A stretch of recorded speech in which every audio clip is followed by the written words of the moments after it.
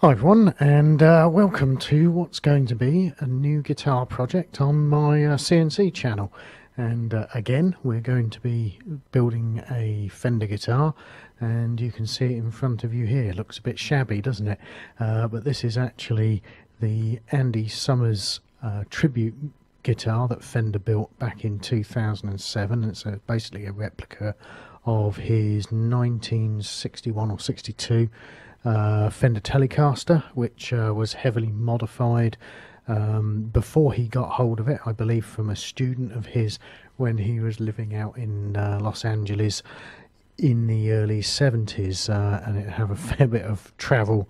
Um, when he got hold of it, and I think he made a couple of minor modifications to it after he got hold of it. So there's the tuning machines, for example. Um, it's quite a unique guitar. It's got some interesting features on it, but more importantly, it's got a set of tones and capabilities which essentially lend itself to the uh, police sound. If you're not familiar with Andy Summers um, playing, uh, where have you been for the last uh, 30, 40 odd years? Good lord, is it that long? Um, yeah, and um, certainly the police sound was pretty much um, made using this particular instrument. I do have a Telecaster of my own, US standard one. Uh, you can get pretty close, but you can't get all the way, and there's a couple of reasons for that. But we'll come to those as we start building it. But you can see part of that is on the back there with that big uh, black scratch plate cover um, hiding, you know, some electronic wizardry in the back of the body there. So um, it's going to be an interesting project because I'm going to try and get as close as I can to the original guitar, probably closer in some respects than Fender did with the Tribute. Um, but in others, I'm going to make one compromise I know of so far, and that's that is I'm going to use a double action truss rod uh, in the neck, but still retain the heel adjustment. Um, for it. So we'll deal with that when we come to it. Uh, and also the tribute, for some reason, had a nine and a half inch uh, fingerboard radius, which I'm pretty sure the original instrument couldn't have had. It would have had a seven and a quarter inch, which was the standard Fender uh, fingerboard radius at that time. So anyway, where are we going to start? So we're going to start with CAD and CAM as usual. And if I get rid of the picture of the guitar, the first thing I did to do this was go off to the internet and find some plans and there's plenty of plans for telecasters out there.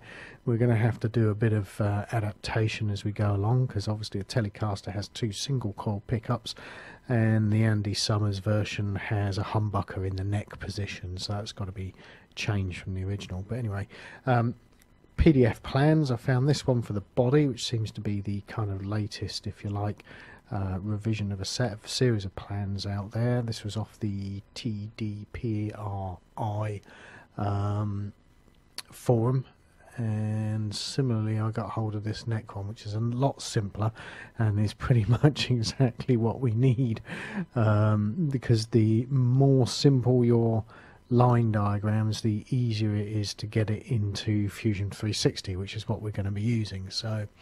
Um, but I'm going to start with the neck and we'll come to the body later. So what we need to do is get this PDF into the uh, into Fusion 360 and the way I do that, and I'm going to flick to a screenshot, is um, a package called Cut 2D by Vectric and it was the cam package that I used to use a lot and I do occasionally still use it but not very much since switching to Fusion.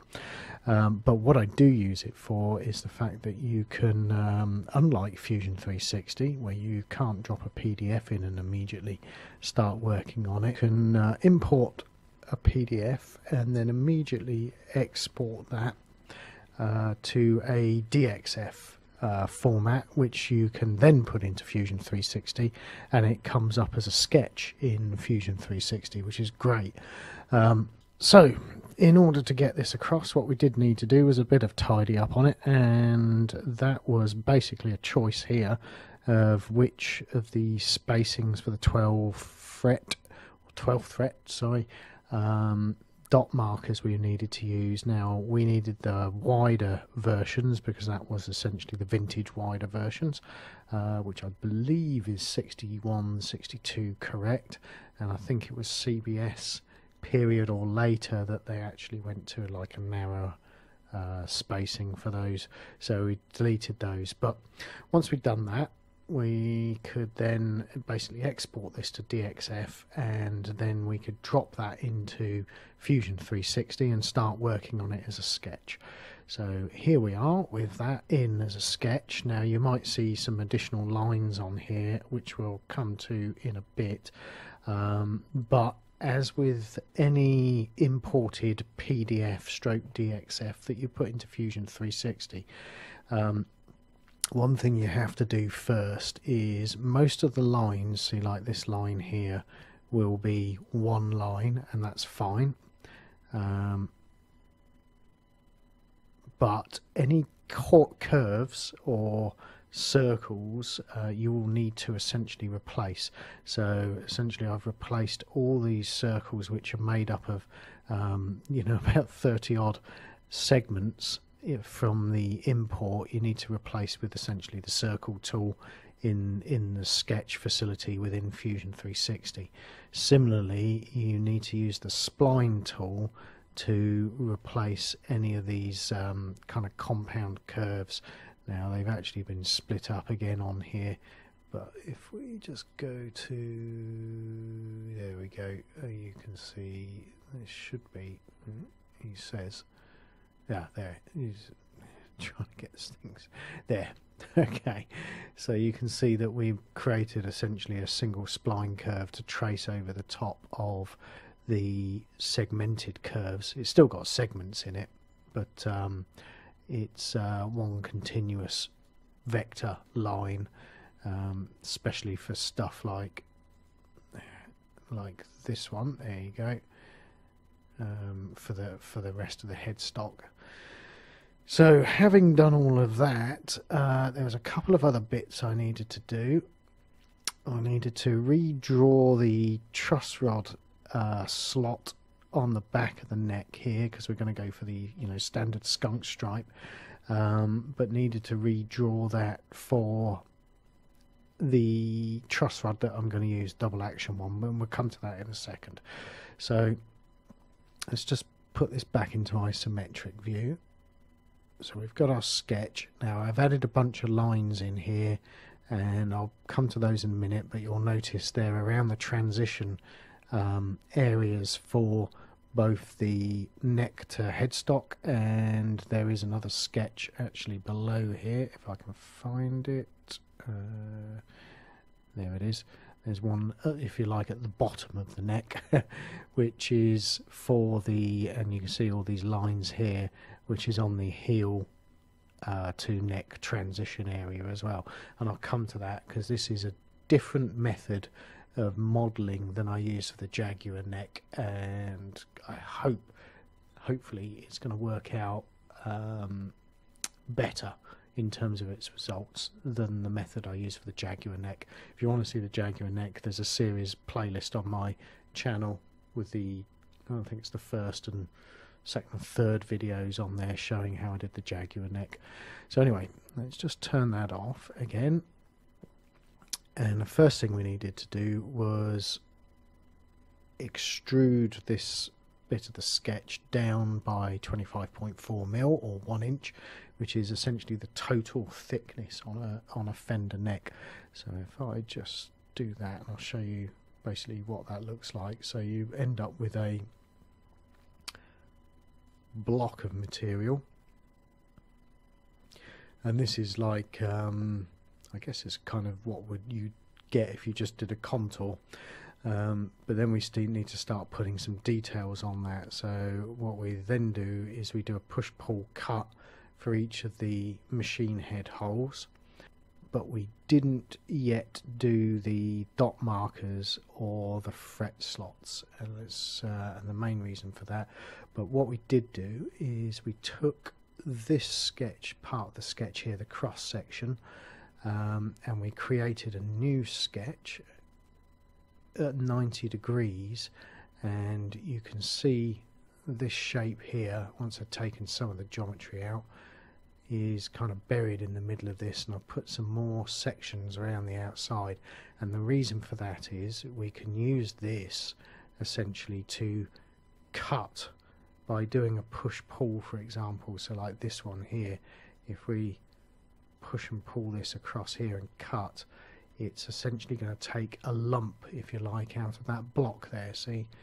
Um, similarly we can take this one and it will give us the um, heel sorry not the heel the headstock uh, to neck top transition. Obviously it won't do the bottom one because the bottom one's a kind of complex 3d transition but this one is just basically and what you um, is just basically a kind of 2D operation at a 90 degree angle to the plans, if you like. Uh, and what that would normally have been done with in the Fender factory is using a spindle sander and just running this thing up. So probably the guy who made the guitar would have, if I deselect that, would have done essentially this with a some kind of saw, band saw probably, and then done this piece by pushing this against a spindle sander and you can still do it that way and I also finish it uh, uh, using that method as well so what we needed to do then was start basically profiling the back of the neck from this block the way we did this is what I needed to do was import if you like a cross section now if I bring up this. Now what you can do is you can insert and you can insert a canvas. So you create um, a plane, a sketch plane, and then you can insert a canvas onto that sketch plane and this canvas uh, or you can insert a canvas directly into the model and what this gave us essentially is a profile for the neck or an approximation of it that we could then use on a sketch and there's our sketch. Let me just bring that around so it looks a bit yeah there you go. So we did a sketch and did an approximation of the um, profile radius which is slightly asymmetrical but hey ho that's what it looks like on the real guitar. This is a uh, an actual Fender Telecaster neck that's been um, that's been sawn up specifically specifically for the purpose of um, showing the profile. So we've taken that, and what we can then do is we can take that sketch and copy it to a bunch of sketch planes and so what we did here is, is is we copied that sketch now what I did is it put it so it matched up with one corner or intersection between the fret marker and um, and the side of the neck, and then essentially took a measurement of this line at the top, which only came up to about here, where my mouse cursor is, hopefully. Um, took another measurement for the width of the neck at that point and then divided one by the other to essentially get a ratio.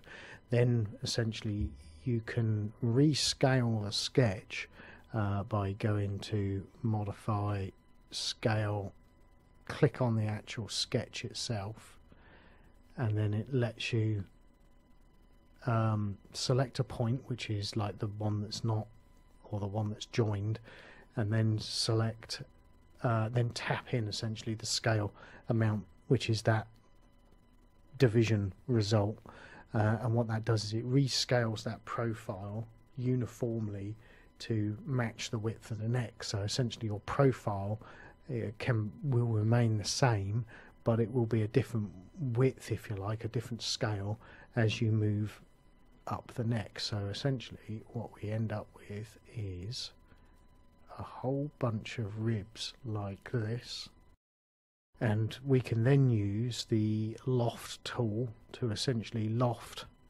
between each of these ribs which then gives us our neck profile which is brilliant. So that worked really well. Um, and I'm not even sure if I've still got that body left so apologies for that. So that gets us essentially the main body of the neck and then we needed to work on the transitions. You'll remember that we've got most of the um, neck body done anyway. And the way we do the transitions is pretty similar. However what I needed to do was um, they're a more complex shape and I couldn't obviously find a load of cross sections on the internet. So what I had to do was get a profile gauge uh, which I'll put a picture up of now.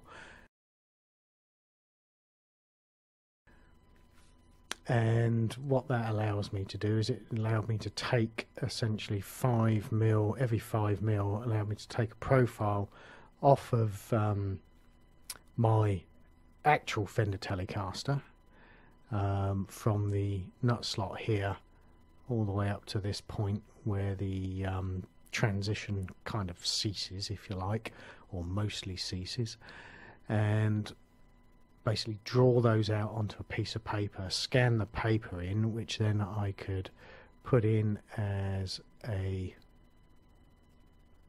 canvas again, and you can see that there. And then what we could do is we can take, so we basically do a trace over onto a sketch, and we can then, so we can copy these into the right position on the neck using essentially the same method we did for the other um, for the other profiles. So you end up essentially with a set of and then we end up with essentially our transition so we can then use the loft tool between each of these again and join that essentially to the end of the uh, headstock, which is the bit where it's flat on both sides, and that does us that end. And then essentially we could do the same at the other end. However, for the other end, what I did was a slightly different method. So uh, if I just bring up this one here and get rid of that one there, we essentially got our 5 mil ribs again, if you like, spacing. And we knew from this side profile here this arc. So we drew this arc if I bring sketch. Yeah so we create a sketch on this plane here and we drew this arc here this one here that's highlighted hopefully yep. Um, then we essentially drew vertical lines up from our spacings on the actual main sketch on the bottom. So we drew them vertically and then we just chopped off the bottom part of it. So you've only got this piece here left. Then essentially once we've got all those points we can then start to create and let me bring those up so we can start to create our ribs you see so we've got one there where we've got a straight line from there to there that's fine that's what's going to match we've got essentially a straight line across this flat piece of the heel where it tapers into the center of the uh, back of the neck there. Um, this straight line that I'm highlighting there. And then essentially we just create an arc um, between these two points. And in fact, what I did is I did one side and then mirrored that, um, use the mirror tool to create the other side so they're exactly the same. And bit of a palaver, and it did take me a little while. Um, but essentially, what you start end to end up with is a set of ribs like this.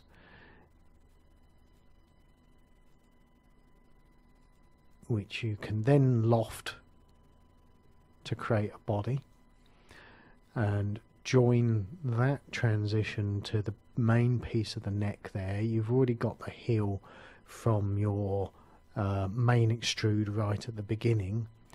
Uh, then you've got your other transition, and again the headstock you've already got from your main um, extrude at the beginning, if you remember.